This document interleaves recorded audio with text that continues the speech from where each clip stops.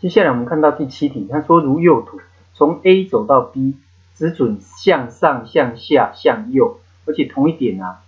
不许经过第二次，那么则经过 P 点的方法有几种？好，那这样子的图形，好，那这种题目要怎么做呢？我们可以用这样来想，就是说你要经过 P 嘛，那我们可以用全部去扣掉都没有经过 P 的，好，那这样就是有一定都有经过 P。好，那全部的话，就是说。我先不要管有没有经过 P，那我这样子，它可以上下，也可以往右的话，那意思就是说我可以走到这一条线的任何一个点，那我这这过来当然都可以上下，都可以这样走，这边也可以上下，也可以这样走，这边也可以上下，也可以这样这样走，也就是说你差别就是走在这三条线的某一个某一条线，哦，可能是这样过来，可能这样过来，可能这样过来。过来当然就不能回去，所以这个三条线它是不能走第二次的。好，所以这里会有三种不同的情况。那走到这里，不管你从这里，你还要你要走这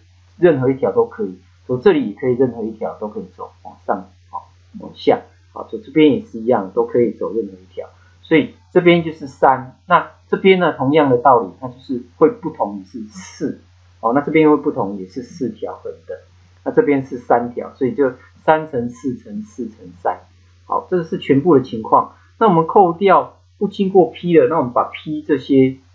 哦，把 P 点擦掉，那到这边的连接线也把它擦掉，就会变成这个样子。那变成这个样子的话，我们从这里要走到 B 点，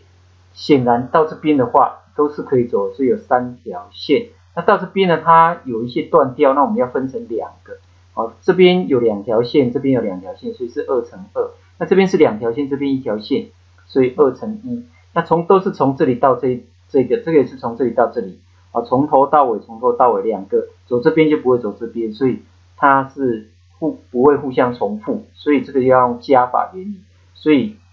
这边就是三乘上括号的二乘二加上二乘一括号，再乘以这边也是有三个，就是乘三。